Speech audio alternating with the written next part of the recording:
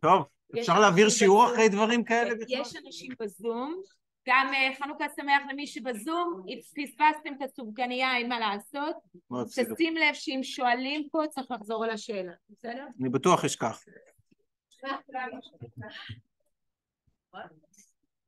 טוב, שלום לכולן. חנוכה הוא חג, אה, חנוכה הוא חג אה, מוזר. הוא חג מוזר. האמת היא הוא חג מסתורי, הייתי יותר אומר. מדוע? כי אמ, בואו נתחיל מכך שבתורה שבעל פה חנוכה אמנם מוזכר אבל הוא לא תופס מקום. מה זאת אומרת? כשרבי יהודה הנשיא שנת 200 לספירה עורך את המשנה הוא בעצם לוקח את כל התורה שבעל פה ומכניס אותה לתוך קודקס שאומר זאת היהדות, זאת היהדות. מסכת ברכות, מסכת ביקורים, מסכת שבת, מסכת יומא, יום כיפורים, מסכת קידושין, גיטין, אה, קודשים, זבחים וכן הלאה וכן הלאה. איזה מסכת אין במשנה? מסכת חנוכה. אין מסכת חנוכה.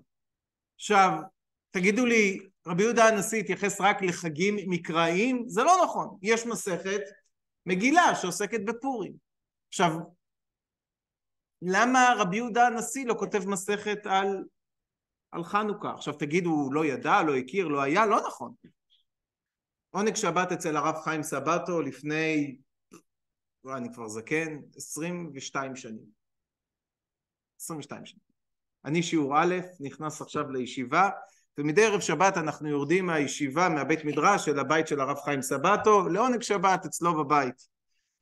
איך היה לו כוח כל שבת, עדיין יש לו כוח כל שבת, ערב שבת לאכלס אצלו את כל השיעור א', כל הכבוד, באמת. ו... נכון, שכחתי איפה אני נמצא, כן. ואני זוכר שאנחנו נמצאים שם וזה ממש לפני חנוכה והרב חיים סבטו אה, שואל אותנו איפה מוזכרת חנוכה במשנה אנחנו שיעור א', בני 18-19, לא הספקנו יותר מדי ללמוד, אנחנו לא כל כך יודעים. ואז אין מסכת הרי. ואז הוא קורא לבן הקטן שלו, שהיום כבר לא קטן, אז נראה לי, יראה לי זה או דוד או ישראל מאיר, אחד משניהם, היה אז נראה לי בן חמש או שש. והוא שואל אותו, בוא אומר לו בוא תעמוד לפני כולם, והוא אומר לו איפה מוזכרת חנוכה במשנה?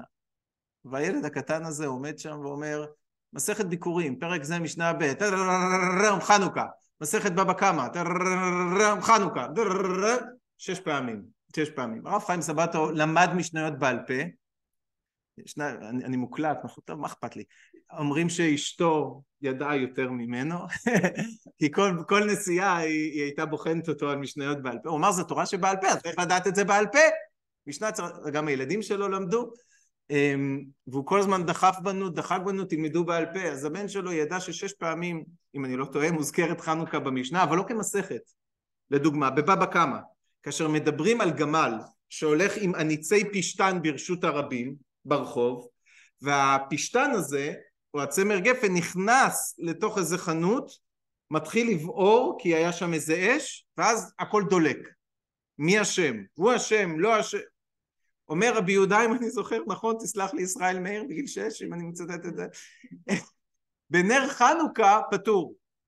כלומר, אם שמת נר חנוכה שם על הפתח וזה הדליק את הגמל, אז הבע, הבעל המקום אינו אשם. למה? למרות שהוא הוציא אש החוצה, כי הוא עשה את זה בהיתר. כלומר, המשנה מזכירה את חנוכה. היא יודעת שיש חנוכה, יש נרות, אבל אין מסכת על חנוכה. רגע, למה אין מסכת על חנוכה? אתם מכירים את ה... את הקומיקאי היהודי הזה שדיבר על עץ אשוח, מה היה קורה אם היינו מדליקים עץ אשוח? מי שלא מכיר שיראה, אני מבקש שישלחו פה לינק. כמה הלכות היינו עושים על העץ אשוח? מדליקים מלמטה או מלמעלה, עץ כזה, בגובה כזה וכן הלאה, אבל זה בדיוק, יש חנוכה, זה נר חנוכה, כלומר, מאיזה צד מדליק, מוסיף והולך, פוחת והולך, איזה גובה אתה שם את נר חנוכה וכן הלאה, ואלף ואחת שאלות על נר חנוכה. אין מסכת על הדבר הזה. למה רבי יהודה הנשיא לא כותב מסכת על חנוכה? מגיע גדליה אלון, חוקר, ואומר, ברור, כי רבי יהודה הנשיא לא אהב את החשמונאים. למה הוא לא אהב את החשמונאים? החשמונאים היו כהנים, הם תפסו את השלטון, את המלוכה. רבי יהודה הנשיא, הוא היה מזרע בית דוד, וזרע בית דוד הם הרי הראויים למלוך. אז הוא לא אהב שהם תפסו את המלוכה, אז הוא הוציא אותם מהמשנה. זו תשובה מחקרית כזאת, שהכל אינטרסים ו... ואני אתנקם בך. הקושייה בעודנה עומדת. אין לי תשובה טובה לזה, אבל, אבל, אבל אני רוצה להישאר עם התמיהה. למה אין חנוכה במשנה?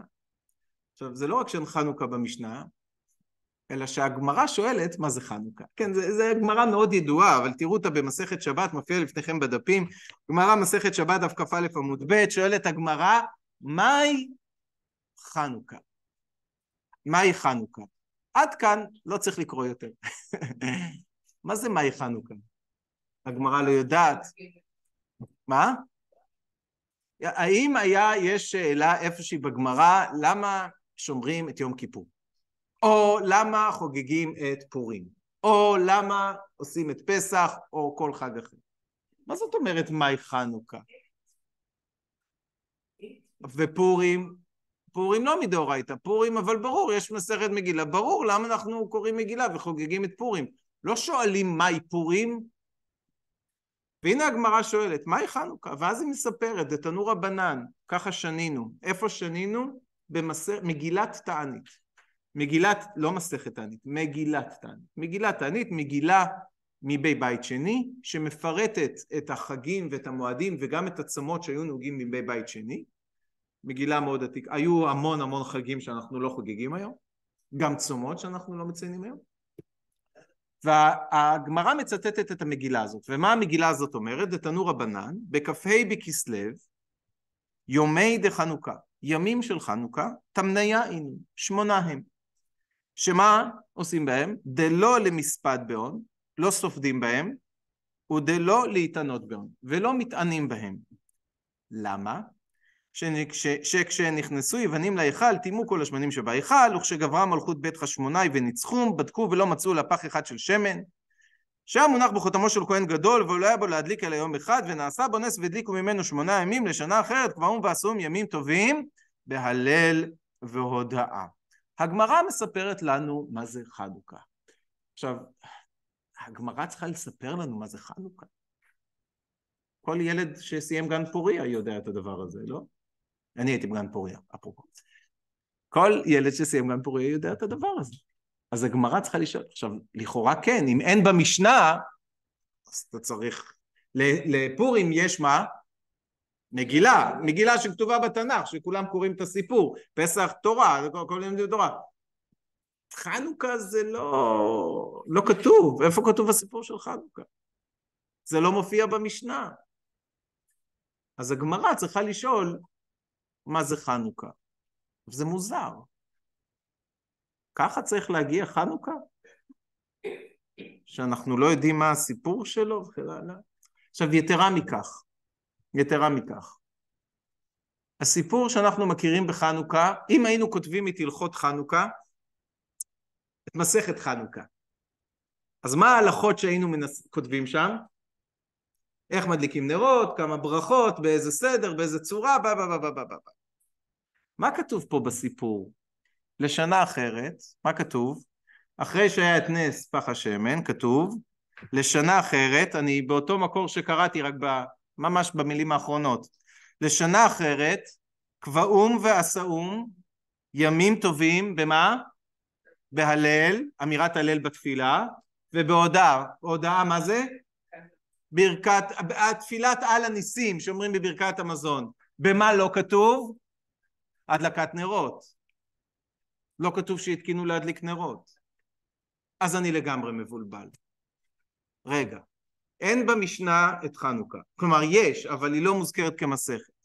הגמרא שואלת מה זה חנוכה ומביאה סיפור על פח השמן, ואז היא אומרת שבכלל תיקנו לעשות את זה ימים טובים, אבל בהלכות שבכלל לא קשורות למה שאנחנו, כלומר כן קשורות, אבל הן לא המרכז שאנחנו מכירים בחנוכה. אז איך אומרים ביידיש? What's going on here? מה קורה פה? כן.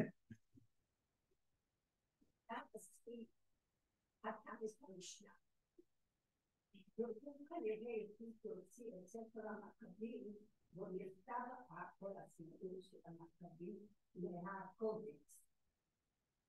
אז למה? זה לא בדיוק הוא, אני, אני אחזור על מה שאמרת לטובת הזום, אבל במילותיי. רבי יהודה הנשיא חתם את המשנה, ספר מכבים זה הספר שמתאר את מה שהיה בימי, בימי החשמונאים, אבל הוא לא נכנס לתנ"ך. זה לא רבי יהודה הנשיא החליט את זה, מי שחתם את התנ"ך, אנשי כנסת הגדולה שחתמים את התנ"ך, לא מכניסים, או חכמים מאוחרים יותר, לא מכניסים את ספר מכבים לתוך, ה, לתוך התנ"ך. למה? לפני שנגיד למה, אמ, רק נזכיר שספר מכבים שיש בידינו היום, מכבים א', מכבים ב', מכבים ג' ואפילו מכבים ד', זה לא המקור של ספר מכבים. ספר מכבים נכתב במקור בעברית, הוא תורגם ליוונית. את העברית איבדנו, את היוונית נשאר לנו, והיום באו ותרגמו אותו מיוונית בחזרה לעברית. אז מה שיש בנו, יש בידינו היום זה התרגום של התרגום. קחו משפט, תרגמו אותו לאנגלית ועכשיו תרגמו אותו בחזרה לעברית. תעשו ניסיון כזה, תראו איך אתם מקבלים אותו, זה צורה מעניינת, לא בטוח שקיבלתם את המקור, אבל זה מה שיש בידינו היום. למה לא הכניסו את ספר מכבים לתנ"ך? שאלה מצוינת. יכול להיות שלא אהבו את המכבים, לא אהבו את החשמונאים. אתם זוכרים מה קרה להם בסוף. זה לא היה כזה הגרויסם מציע, לא הייתה הצלחה גדולה. אבל דבר שני, מנחם כהנא רוצה לטעון שזה היה חלק מהפולמוס עם הנוצרים. הייתה מטרה לומר שאין נבואה בימי בית שני. אין רוח הקודש בימי בית שני. ולכן ספר מכבים זה לא ספר קדוש, הוא מחוץ לתנ"ך. החול המאוחר זה מגילת אסתר, שאי שם תחילת האימפריה, באימפריה הפרסית תחילת ימי בית שני, לא ברור איפה בדיוק. אבל מה שמופיע בבית שני, אין רוח הקודש שם. למה? כדי לא לתת לגיטימציה לנצרות.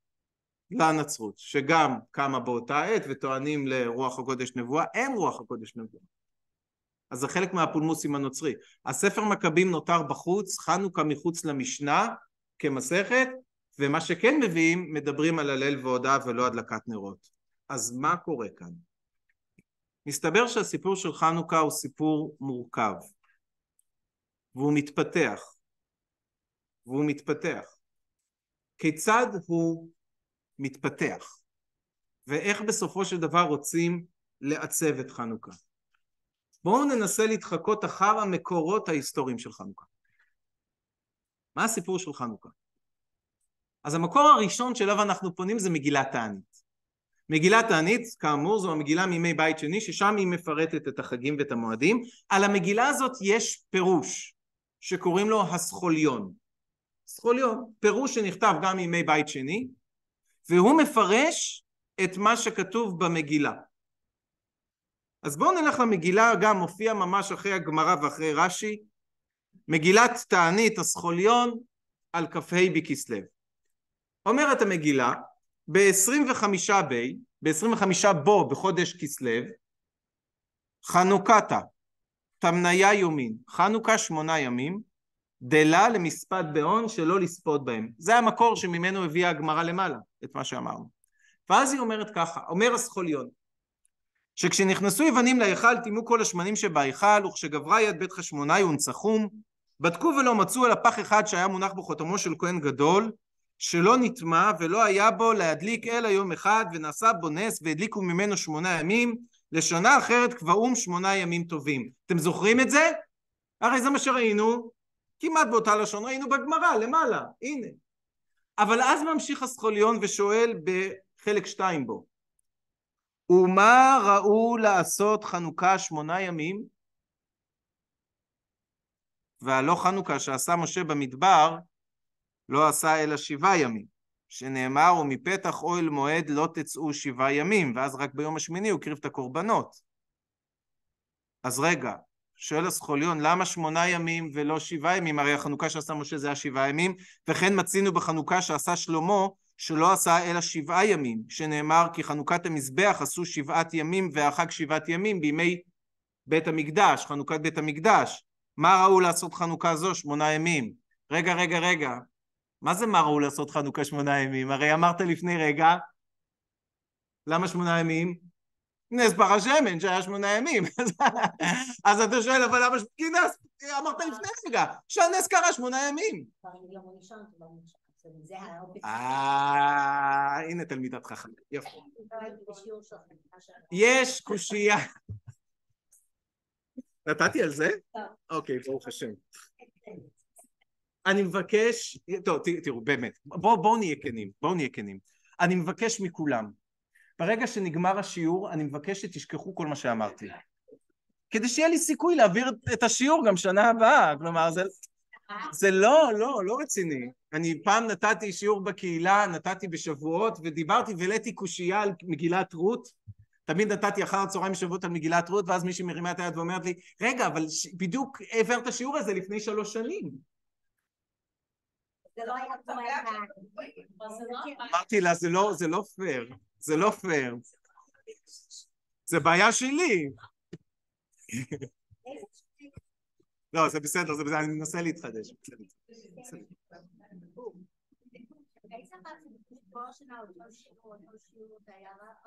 מי נתן כל שנה אותו שיעור?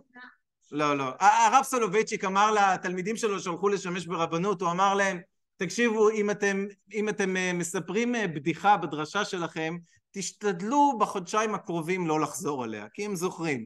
אם אתם מספרים סיפור, תשתדלו בחודש הקרוב לא לחזור עליה, כי הם זוכרים. אבל אם אתם נותנים איזה דבר תורה או שיעור, אתם מחר יכולים לחזור עליו, כולם שכחו, זה בסדר.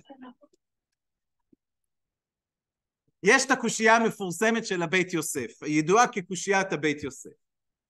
אם נס פח השמן היה שלא היה להדליק אלא יום אחד והדליקו ממנו שמונה ימים, אז לא קרה נס שמונה ימים. כמה ימים הוא קרה? שבעה ימים, כי ביום הראשון היה להדליק ממנו, זה לא נס. כמה תירוצים יש לקושייה הזאת?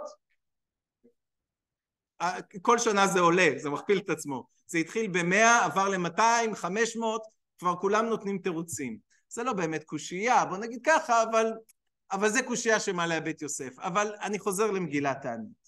אם יש נס שקורה שמונה ימים ולא הכירו עדיין את קושיית הבית יוסף, אז מה אתה שואל ומה ראו לעשות חנוכה שמונה ימים? הרי חנוכה שעשה משה זה השבעה ימים.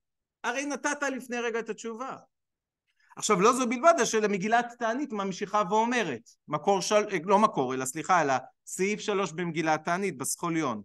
מתרץ את ה... מתרץ הסכוליון ואומר, אלא בימי מלכות יוון נכנסו בית חשמונאי להיכל ובנו את המזבח וסדור בסיד וכל שבעת הימים היו מתקנים בכלי שרת. כלומר כנראה שבעה ימים לקח להם להכין את הכלים ואת כל זה וביום השמיני התחילו להקריב את הקורבנות. אז זה שמונה ימים ולכן בניגוד למשה ושלמה שעשו שבעה ימים הם עשו שמונה. אבל נתת תשובה של נס פח השמן. אז מה השאלה הזאת ומה התשובה? פרופסור ורד נועם, חתנית פרס ישראל לחקר התלמוד, אמרה תשובה פשוטה. אם אנחנו מחפשים בכתבי יד, מה אנחנו מוצאים? שסעיף אחת לא קיים. כלומר, בנוסח המקורי של הסכוליון לא מסופר בכלל על נס פח השמן. אם אתם מורידים את סעיף אחת פה, הכל נראה מאוד ברור. חנוכה שמונה ימים, ואז סעיף שתיים, ומה ראו לעשות חנוכה שמונה, אה, שמונה ימים והלא זה שבעה, ואז יש את ההסבר שתיקנו את המזבח בכלי שרת, ואז היו, ואז בארבע, חנוכת בית חשמונה היא לדורות, ולמה היא נוהגת לדורות? אלא שעשאוה בצאתה מצ- מצרה לרווחה, ואמרו בה הלל והודאה והדליקו בה נרות בטהרה לפי שנכנסו יוונים בהיכל וזה ממש אותה לשון שקראנו למעלה לפי שנכנסו יוונים להיכל וטימאו כל הכלים ולא היה במה להדליק וכשגברה יד בית חשמונאי הביאו שבעה שיפודי ברזל וחיפום בבעץ והתחילו להדליק. מתאר הסכוליון הגיעו למקדש הכל היה טמא אי אפשר היה להדליק, אי אפשר היה לעשות את המזבח, אי אפשר היה לעשות כלום, אז במקום מנורה הביאו שיפודים ועשו מזה את המנורה והדליקו, ואת המזבח לקח לו שבעה ימים עד שתיקנו את כל הכלים, וביום השמיני הקריבו, וזה הסיפור של חנוכה, שמונה ימים. מה לא מוזכר? לא מוזכר נס פח השמן במקורות שלנו. אז מה לפי זה המוקד של חנוכה? אז אגמור בשיר מזמור חנוכת המזבח, המנורה, המנורה, לא, זה לא המנורה. לא, זה, המז... לא, זה לא גם וגם, זה המזבח. המזבח. אנחנו לא אומרים חנוכת גם וגם, לא. חנוכת המזבח, אנחנו לא מזכירים את נס פח השמן. כשאנחנו מדליקים את הנרות, אנחנו אומרים, הנרות הללו שאנו מדליקים על מה? על הניסים, שעשית לאבותינו בזמן הזה. לא, זה בתפילה. איבדתי את זה, לא משנה. כשאנחנו אומרים את תפילת על הניסים, אנחנו אומרים מסרת גיבורים ביד חלשים ורבים מיד מעטים וטמאים מעט הורים וראשים מיד צדיקים ואז הגיעו זה והדליקו נרות בחצרות קודשך ולא מזכירים שם את נס פח השמן. הם הדליקו נרות, אבל לא מזכירים את נס פח השמן. כשאנחנו מדליקים את הנרות של החנוכיה, אנחנו אומרים הנרות הללו אנו מדליקים, לא מזכירים את נס פח השמן, וכשאנחנו שרים את מהו סור, אנחנו מדברים על חנוכת המזבח, ולא מזכירים את נס פח השמן. גם כשנפתח את ספר המכבים לא נמצא את נספח השמן. מה נקרא שם? מקור מספר אחת, למטה, סעיף א', חנוכת המזבח. ויאמר יהודה לאחיו, הנה הוכו אויבינו נעלנה לתאר את המקדש ולחונכו, ויראו את המקדש שומם ואת המזבח מחולל, ואת השערים שרופים, ובחצרות צווח צומח כמו בעיר, או על אחד הערים, ואת הלשכות חרבות, ויפלו על פניהם, הכל חרב. ויצב יהודה להילחם באנשים אשר בחקרא, אנחנו מכירים את זה היום בירושלים, עד אשר יטהר את המקדש, ויבחר כהנים תמימים, והם תיארו את המקדש, ונשאו את אבני השיקוץ, האבנים של המזבח שחוללו אל מקום טמא, ויבעצו על אודות מזבח העולה המחולל, מה יעשו לו? ותיפול להם עצה טובה להורסו, לבל יהיה להם לחרפה, כי טימאו הגויים ויצאו אותו. הרסו את המזבח, ויניחו את האבנים בהר הבית במקום מתאים עד אשר יבוא נביא ויורה על אודותם ויבנו, ויקחו אבנים שלמות כדת ויבנו את מזבח חדש כמו הראשון. וישכימו בבוקר החמישה ועשרים בחודש התשיעי זה כ"ה בכסלו ויעלו קורבן כחוק על גבי מזבח העולה החדש אשר עשו.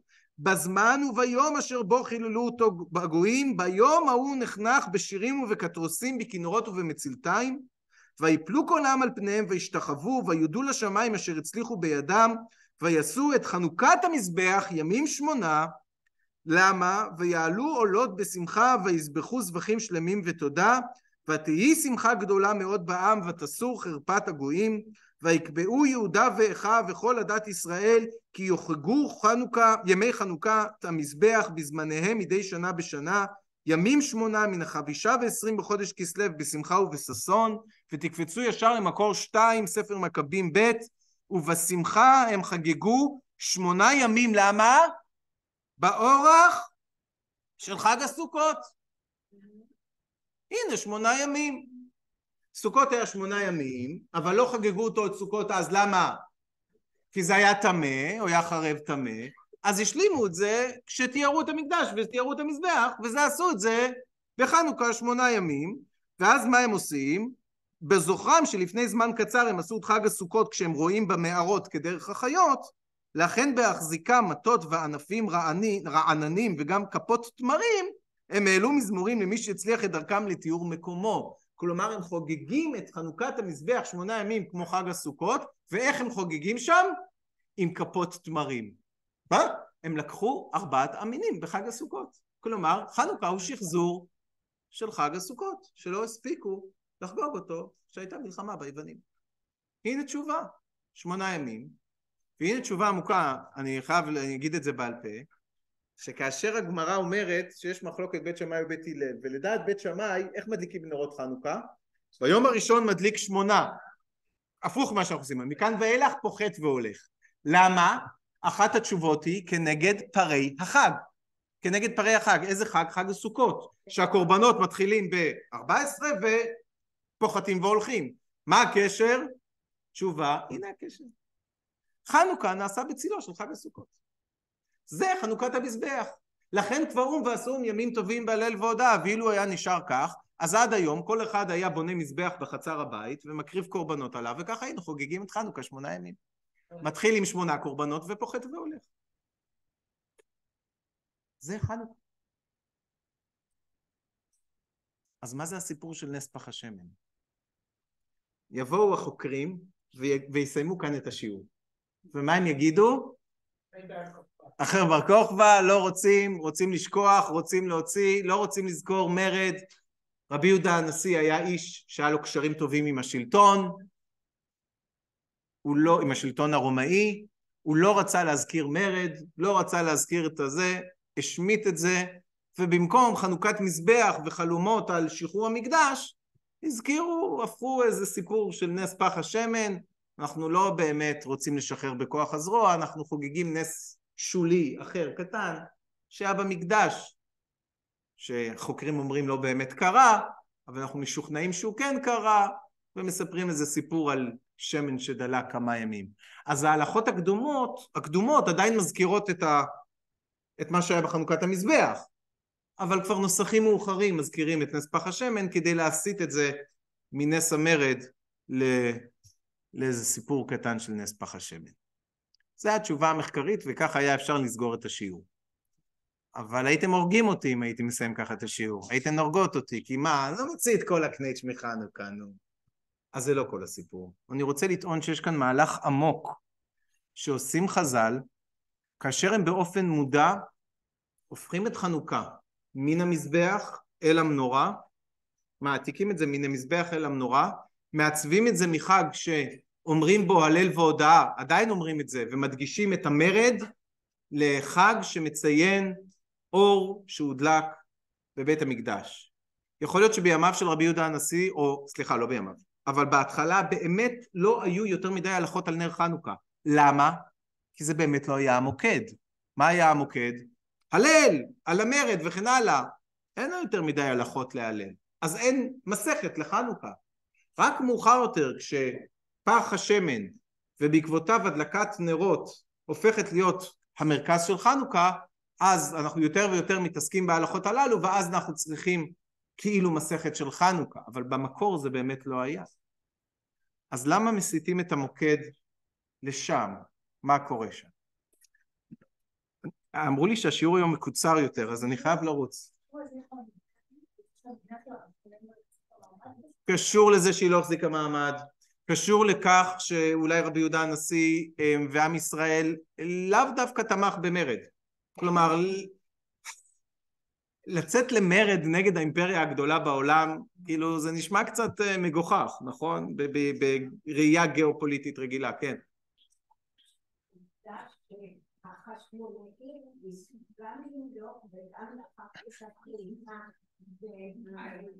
כן, כן, כן, חלק מהעניין, מה שאת אומרת, הרמב"ן אומר על זה שכהנים, החשמונים היו כהנים, הם לקחו גם את המלוכה, וכשערבבו כהונה ומלוכה, או בלשוננו, כשערבבו דת ומדינה, זה השחית גם את הדת, והשחית גם את המדינה, כמו שהרב יונתן זקס אומר באנגלית, כשאתה מערב פוליטיקה ודת, זה סופה של הדת, זה סופה של הפוליטיקה, צריך להפריד ביניהם. אז אותו דבר גם קשור לזה, קשור לזה שרבי יהודה הנשיא ראה את תוצאות מרד בר כוכבא, הוא אמר נשים את המרד בצד, אנחנו עכשיו שומרים על יחסים טובים עם השלטון וכן הלאה וכן הלאה, יש כמה וכמה סיבות לזה. אבל עם הזמן מתפתח העניין של, ולכן מתפתח האתוס של נרות חנוכה, נס פח השמן וכן הלאה. טוב, כן. נכון. אלו ההלכות הקדומות שכנראה תוקנו אז, לשנה אחרת כבר אום ועשום ימים טובים בהלל והודאה, וזה, על הניסים זה משם, שהרימו את העניין של המרד והמלחמה וכן הלאה. ככל שעובר הזמן, תשאלו ילד מה זה חנוכה, הוא לא יגיד על הניסים, הוא יגיד נרות חנוכה, לוקח את המוקד לשם. אז למה? מה הסיפור? חנוכה יש שורשים קדומים גם יותר מאשר סיפור החשמונאים. יש משהו מיוחד בזמן הזה שאנחנו מצויים בו. מה מיוחד בזמן הזה? היום קצר קצר קצר קצר והלילה מתארך מתארך מתארך מתארך עד שמגיעים לנקודה שבו זה מתחיל להשתנות. הלילה מתחיל להתקצר, והיום מתחיל להתארך. אנחנו רואים את זה בזמנים של כניסת שבת. זה סיוט. כל רגע, כל שבת זה 15 דקות קודם. אני לא מספיק לנשום, כפרה, אני כל פעם מאחר לתפילה יותר. יש רגע, יש רגע, יפה, יש את הרגע בערך בזמן הזה, שמגיעים ליום, לכניסת שבת הכי מוקדמת, ליום הכי קצר, ומאז, משם זה חוזר והולך. הדבר הזה היה רשום בהיסטוריה כיום מיוחד. חז"ל מתייחסים לכך, תהפכו את הדפים, מקור מספר 6, מסכת עבודה זרה. הגמרא מדברת על היום הזה, שזכרו אותו. תנו רבנן, לפי שראה אדם הראשון יום שמתמעט והולך, אדם הראשון נברא בסוף, באלף תשרי, והנה הימים מתקצרים מתקצרים, מה הוא חשב? אמר אוי לי, שמא בשביל שסרחתי, עולם חשוך בעדי. הנה, העולם נחבא. הימים מתקצרים. גמרנו, העולם הולך להיגמר. והוא חוזר בסוף לתוהו ובוהו. וזוהי המיטה שנכנסה עליי מן השמיים, כשאכלתי מעץ הדעת. עמד וישב שמונה ימים בתענית ובתפילה. כיוון שראה תקופת טבת, ואז מה הוא ראה? שיום שמתארך והולך, אמר, וואלה, זה מנהגו של עולם. אז זה לא מיטה שנגזרה עליי, אלא פשוט כנראה ככה הטבע עובד. הלך ועשה שמונה ימים טובים, באותו יום שבו האור מתארך והולך. לשנה אחרת, עשאן לאלו ואלו ימים טובים. הוא קבעם לשם שמיים, והם, עובדי האלילים, קבעום לשם עבודת כוכבים. מסתבר שהיה חג אלילי בזמן הזה, שחג, שמה הוא חגג? את התארכות האור. וזה עוד מימי אדם הראשון. כלומר, זה משהו עתיק מאוד. שיש אור, ריבוי אור, אז חוגגים את זה. הם עושים את זה לשם עבודת כוכבים, למה? כי כנראה הם עובדים את השמש, ואנחנו עושים את זה לשם שמיים. מה זה הסיפור של האור הזה? אני לא יודע אם אני כאן מדייק באמת מבחינה היסטורית, כי אינני מומחה לדתות, אבל זה מאוד סביר להניח שככה זה. יש איזה שמונה ימים מיוחדים בעולם, שמתחילים ב-25 כ"ה בדצמבר, ונגמרים מתי? בראשון לינואר. כמה ימים זה? שמונה. מ-25 בדצמבר עד הראשון בינואר כולל. שמונה ימים. שמה זה? שמה, זה? זה מחג המולד עד לראשון לינואר, שמה זה בעצם? ברית המילה. אם הוא נולד ב-25 בדצמבר, אז הרי הראשון לינואר, ינואר הוא לא באמת החודש הראשון, נכון? נכון? איך אנחנו יודעים את זה שינואר הוא לא החודש הראשון? הרי אוקטובר, מה זה אוקטובר? מה זה אוקטוב? אוקטובר? שמונה, זה לא עשר. אוקטבה, שמונה. אוקטופוס.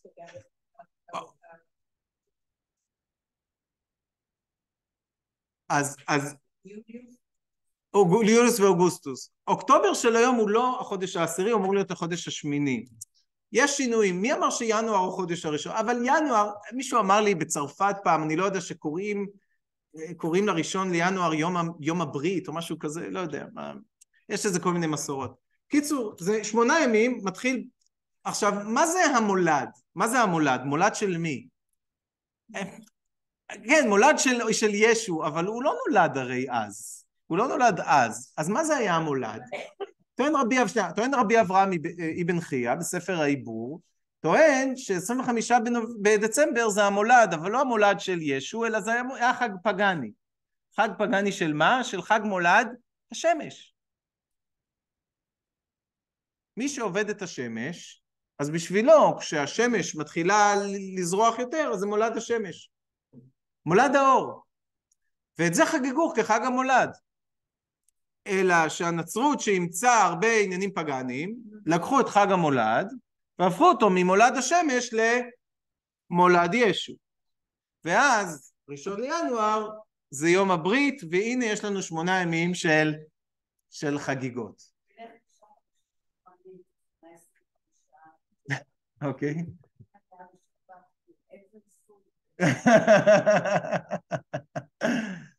כן, אם הולכים תשעה חודשים אחורה מדצמבר, הולכים לראשון, מגיעים לראשון לאפריל. ואז, ואז הכל מתחבר להכל. תראו את רבי אברהם בן חייא בספר העיבור, מקום מספר 7, הוא כותב את הדברים הבאים, הוא חי בימי הגאונים.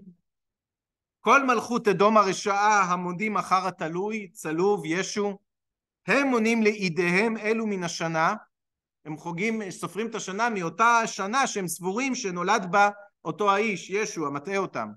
והוא נולד לדבריהם בשנת ג' אלפים תשס"א לבריאת העולם, ב-25 ימים מחודש דיימבר, והוא יום שבת יום תשעה בטבת, וראוי היה היום הזה להיוולד בו הרשע הזה אם באמת דבריהם אמת. אבל אין אדם מאמין לדבריהם, האומרים על לידת התלוי, ישו, שהם ידעו יומה שהיה בכ"ה בדיימבר, כי הדבר הזה אינו כתוב להם באבנגליון, ולא בכתבי תלמידי המתאים אשר הם מאמינים הם דברי השליחים וכן הלאה. אבל היום הזה שהוא כ"ה מן דיימבר היה יום קלון לאומות הקדמונים עובדי אלילים. והיה קדמוני כסדים, הבבלים, הפגאנים, קוראים לו מולד השנה. ואחרים היו קוראים להם מולד החמה, מפני שהחמה באה בימים האלה אל ראש מזל גדי ביום הזה, והיה היום מתחיל להאריך והלילה לקצר, והיו משאילים אותו למולד הזמן וקוראים לו מולד וחודש לשנה ומולד החמה, וכשבאו תלמידי המכעיס, ישו, להטעות את האומות האלה ולהכניסן בטעות הזה של הנצרות, הוא טוען, אימצו את דעתם לכבד היום הזה אשר היה מכובד ביניהם, ואמרו לא היו עושים בו קלון גדול, אלא מפני שהפסול הזה היה ראוי להיוולד בו, כלומר מה הוא טוען? הנצרות התלבשה על חגים פגאניים שהיו נהוגים ועשו שם את חג המולד והפכו את זה לחג המולד שלהם ובעצם השתמשו בדבר הזה ולכן לדוגמה היום המקודש בנצרות הוא בשבוע, מה? מהו היום המקודש בנצרות ביום יום השבוע? יום ראשון, נכון? שהוא סנדיי, סנדיי, נכון? סנדיי, סנדיי. יש כאן תרבות שהתפתחה תרבות עולמית, שאני עוד פעם, אני לא חוקר דתות, אני לא יודע עד כמה זה נאמן היסטורית, אבל סביר להניח שזה ככה. שהנצרות מאמצת עניינים פגאניים שעובדים בבבל את החמה ואת השמש, ופשוט מתרגמים את זה לחגים שלהם וחוגגים גם הם חג של אור. אני יליד חיפה, אני יודע מה זה חג האורות, שנוצרים, יהודים ומוסלמים חוגגים את, ה, את האור ביום הזה. זה לא מקרי שכ"ה בדצמבר, 25 בדצמבר זה חג המולד שהופך להיות חג של אור אצלם, ויש את חנוכה בכ"ה בכסלו שהופך להיות חג האור אצלנו. המקור הוא אותו מקור, ואנחנו מתלבשים על מסורות קדומות, אלא שהם לוקחים את זה לחגיגת האור, השמש, והנה, מה היהדות עשתה? לקחה את החג הזה, הקדום, והסיטה אותו גם אל האור, אבל איזה אור? לא של השמש, אלא אור של בית מקדש, אור של מנורה. מה זה הדבר הזה? מה זה האור של המנורה? מה הנקודה הזאת? אני חושב שיש כאן אמירה מאוד עמוקה שהמסורת היהודית אומרת. יש אור בעולם. אור, שמש. אבל יש אור במובן עמוק יותר. מה זה אור במובן העמוק יותר? יש אור שהוא איננו אור השמש. איזה, איזה אור זה? אז אנחנו מכירים מסיפור הבריאה, נכון, שמתי האור נברא ביום הראשון, אבל, ביום, אבל השמש נברא, נוצרת רק ביום הרביעי. אז איזה אור נברא ביום הראשון? חז"ל אומרים, זה אור הגנוז לצדיקים. מה זאת אומרת יש כאן משהו כזה? יש אור במובן העמוק שהוא איננו האור הפיזי. מה זה אותו אור? באנגלית אנחנו קוראים, אה, לא, גם בעברית, אנחנו קוראים לעידן המודרני עידן הנאורות. Enlightenment, כן, באנגלית. יש light, אור, שהוא משהו שהוא מעבר לזה. כשאני רוצה להגיד למישהו, בואנה, אתה גילית לי משהו? אתה הארת את עיניי. שפכתי אור. לא. שפכתי אור על הסוגיה. שפכתי אור על הפרשה. מה זאת אומרת? שאור הוא נמצא נכון בחוץ, למעלה, בשמיים. אבל אור במובן העמוק איפה הוא נמצא? פה, בתודעה. כשאני מצליח לקלוט, להבין, לראות משהו שאחרים לא רואים, אז אני שופך אור, אני נאור, אני מבין משהו, קיים משהו בעולם שלי שלא ראיתי. וזה לא תלוי בפיזי, זה תלוי בתודעתי. לא לחינם נר חנוכה אנחנו מדליקים אותו דווקא בחושך, בלילה. למה? להראות שאנחנו לא תלויים באור. אדם שרק תלוי באור הפיזי, ברגע שמגיע לילה, עולם חשוך בעדו, נגמר, נגמר הסיפור. זה לא נכון. גם בזמנים של חושך, ואולי דווקא בזמנים של חושך. דווקא אז אני מסוגל לראות את הנר האמיתי שאני רוצה, האור האמיתי שאני רוצה, שזה האור העמוק יותר, זה האור ש... אתם קוראים לזה רוח, אני קורא לזה תודעה, זה אור שמאפשר לי לראות דברים שאולי אני לא הייתי רואה אותם דווקא ביום. כי אם אני מדליק נר ביום, אני לא רואה כלום. אני מדליק בלילה, פתאום אני רואה משהו. יש נר אחר. הסיפור של חנוכה היה סיפור של יהודים מול מתייוונים, זה היה סיפור באמת על הסיפור הפיזי, על האור, מי ששולט בעולם, על מי שיהיה לו יותר כוח, עוצמה, מרד, זה חשוב וטוב ויפה. אבל יש סיפור נוסף, לא של כוח שמתאר את המזבח וקורבנות ודם, אלא סיפור של תודעה, סיפור של מחשבה. את הדבר הזה אנחנו רואים במנורה.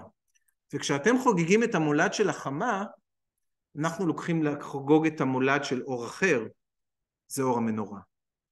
ואז מגיע סיפור על איזה פח שמן קטן שלא היה ממנו להדליק אלא שמונה ימ... יום אחד, והדליקו ממנו שמונה ימים, והנה מדליקים את המנורה ואנחנו מדליקים אור אחר בעולם. אור לגויים. זה אור אינטימי. זה אור שהוא לא, הוא לא, הוא לא, הוא לא כזה show off. הוא לא כזה אור שזה.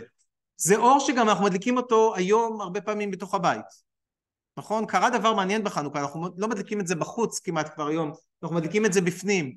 משהו אינטימי, פנימי, משהו אינטימי, פנימי, זה אור שאנחנו מדברים עליו, משהו שמאיר לי את המציאות בצורה אחרת. הגמרא מדברת על האור הזה שם במסכת שבת, אה, מקום מספר 13. אתם יודעים מה, אולי לפני כן בבא בתרא. הגמרא אומרת, אמר רבי יצחק, הרוצה שיחכים ידרים, ושיעשיר יצפין. הרב סבתו, תמיד כשהוא היה מתפלל הוא היה עומד עם הגוף לכיוון ירושלים, אבל עם הפנים דרומה קצת. שאלתי אותו פעם למה, הוא אמר לי, הרוצה שיחכים, תפנה לדרום. אם אתם רוצים להיות מיליונרים, תפנו לצפון. תחליטו, חוכמה או עושר, מה שאתם רוצים. צפון. למה? כי בבית המקדש השולחן היה בצפון, והמנורה הייתה בדרום. אז אתם רוצים כסף, תפנו לצפון. אתם רוצים חוכמה, תפנו לדרום. המנורה מסמלת את החוכמה. למה מנורה מסמלת חוכמה? היא מסמלת אור. מה זה אור? תודעה שפתאום אתה רואה משהו. I see, אני מבין משהו שלא הבנתי קודם. מקור 13, הגמרא אומרת שזה בדיוק המנורה, הסיפור של המנורה. מחוץ לפרוכת העדות יערוך את המנורה, שואלת הגמרא, וכי לאורה הוא צריך, וכי הכהן צריך את, ה, את המנורה, והלא כל ארבעים שנה שהלכו בני ישראל במדבר, לא הלכו אלא לאורו של הקדוש ברוך הוא, שאולי עמוד האש, היה לנו פה את הדברים, למה צריך מנורה? אלא עדות היא לבאי עולם שהשכינה שורה בישראל. מהי עדות? אמר רב זונרמה ערבי שנותן בשמן כמידת חברותיה וממנה היה מדליק ובה היה מסיים. רש"י יגיד לנו שעל נר מערבי היה לנו נס. מהו הנס? רש"י אומר, כל זמן שהיו ישראל חביבים, הנר המערבי היה דולק כל היום. כלומר, היית שם שם שמן כמידת כל הנרות האחרים, אבל בעוד שכל האחרים קבעו, נר המערבי המשיך לדלוק כל היום. מוכר לכם? שנייה, שנייה, מוכר לכם ששמת מידת שמן והמשיכה לדלוק מעבר למה שהם היו? זה נס פח השמן. כלומר, נס פח השמן זה הרחבה, של אותו נס שהיה קיים תמיד במנורה, שנר מערבי דלק יותר על כולם, והוא המשיך לדלוק גם מעבר, וזה נס פח השמן שהופך לאתוס של חנוכה, שמדבר על נס ההדלקה של החנוכה, וזה הופך להיות הסיפור של חנוכה, כאמירה מאוד ברורה, למהו אור, ועל איזה אור אנחנו מסתמכים. כן, שנייה, שלי. הוא. שבעה קנים, כן. שבעה קנים, זה לא חנוכיה, זה שבעה קנים. נכון, זה שבעה קנים. נכון, אחד מתוך שבע. אבל הנס שלו הקרין על הנס פח השמן, ללא ספק, כן. כן, רוני. יש, אני חושבת, רש"י אומר שיעקב, שהוא עבר בחזרה, הוא שכח משהו, וזה היה... פחים קטנים. כן. והוא- זה היה מאוד חשוב לקחת אותם, וזה בעצם המסורת שלנו, זה האור לגויים שאנחנו אמורים אה, להפיץ. אז זה האור, כן, האור שהוא מעבר לאור הפיזי, ולכן קראתי לשיעור להפוך אור לאור. הסיפור של חנוכה זה מחלוקת על האור. האם אנחנו רק תלויים באור, במציאות הגשמית, החזקה, הבוערת, אלא שיש אור אחר שאנחנו מסוגלים להדליק. עכשיו תראו, אני, אני רוצה להיות ציוני. כלומר, אני לא דוחה את, ה, את סיפור הגבורה.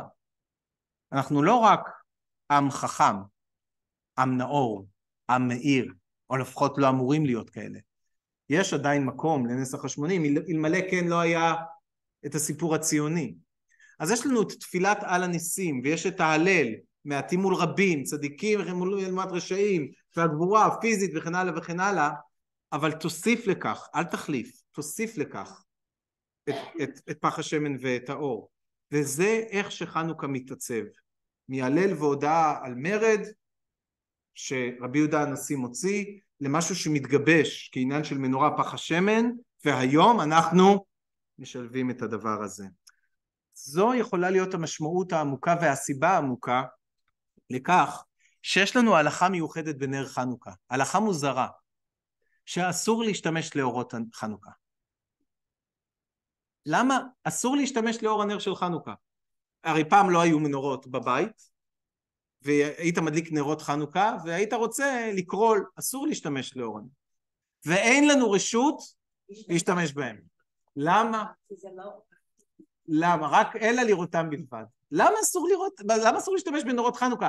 אתה לא עושה כלום כשאתה משתמש בנר חנוכה, אני רק קורא לאור נר, לאור הנר חנוכה. יש בתים בבית שנוהגים לכבות את האורות כשמדליקים נר חנוכה? כן? יש כאלה שעושים את זה, אז, אז צריך לעשות בדיוק הפוך. כלומר, צריך דווקא להדליק את הנרות, להדליק, להדליק את האור, סליחה, להדליק את האור, כשזה, יש, יש אומרים שזה הסיבה שאנחנו מדליקים היום שמש. מה זה שמש?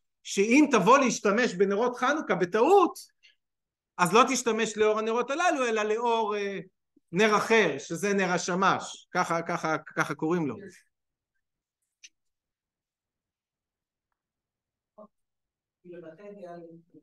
אז אבל כשמדליקים אור אנחנו רוצים, אנחנו רוצים להראות שאנחנו מדליקים את הנרות הללו לא כדי להשתמש בהם. אז נכון, אז את צודק, מצד אחד כדי שיראו צריך שיהיה חושך, מצד שני אנחנו רוצים להראות שאנחנו לא מדליקים את נרות חנוכה כדי להשתמש בהם. למה אסור להשתמש בהם? זה בדיוק להביע את אותה נקודה. שמה? שאנחנו לא מדליקים אור כאן לשם האור הפיזי, אלא מדליקים אור כדי לבטא את הסמל של האור, שיש איזה אור שהוא אחר שאותו אנחנו מנסים להביא לעולם.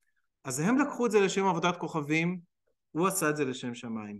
הם לוקחים את זה כדי להאדיר את הטבע וכוחות הטבע ואת השמש וחג המולד ומעבר מעבר מעבר וכל זה, ואנחנו לוקחים את אותו דבר בדיוק, למנורה, לאור קטן של נר, על שהוא מסמל הרבה מעבר לדבר הפיזי.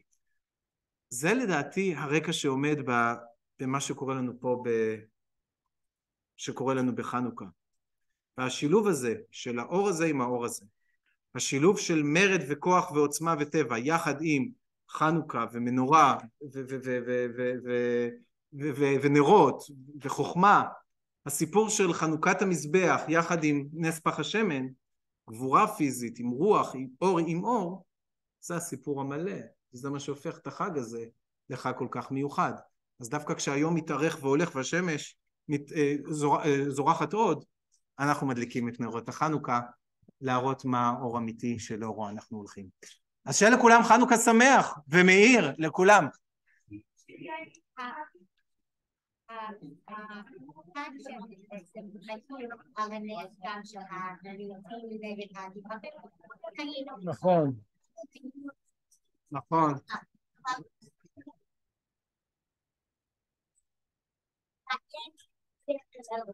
הנס גם של היהודים נגד הדיבורים, היינו נכון. נכון. אז אנחנו בעצם עצמם וגם ציבורים, יש את ה...